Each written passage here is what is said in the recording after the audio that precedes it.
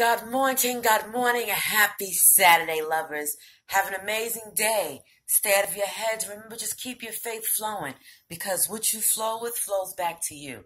So try to do your best to, when people are speaking negative chatter in your ear, you just got to let it flow in and flow out.